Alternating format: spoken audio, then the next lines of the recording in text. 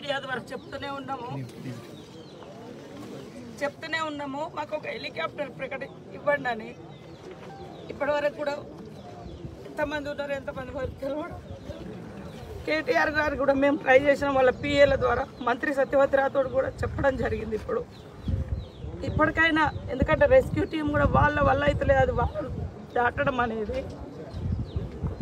కాబట్టి ఖచ్చితంగా ఒక హెలికాప్టర్ వేసి అక్కడి నుంచి వాళ్ళందరినీ సురక్షితమైన ప్రాంతాలకు తరలించాలని కోరుతున్నాం. దాదాపుగా అటు ఒక రెండు గ్రా మూడు గ్రామాల ప్రజలు ఉన్నారు. ముఖ్యంగా వంద మంది చాలా డేంజర్లో ఉన్నారు. ఆరుగురు కొట్టుకపోయారని సమాచారం వచ్చింది.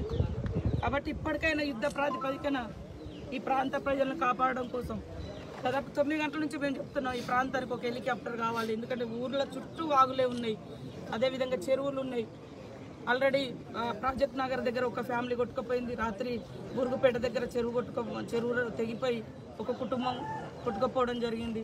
ఇప్పుడు ఆరుగురు కొట్టుకుపోయి రేటు నాగారం మండలం కొండాయిలో ఇంకా వంద మంది ప్రమాదంలో ఉన్నారు.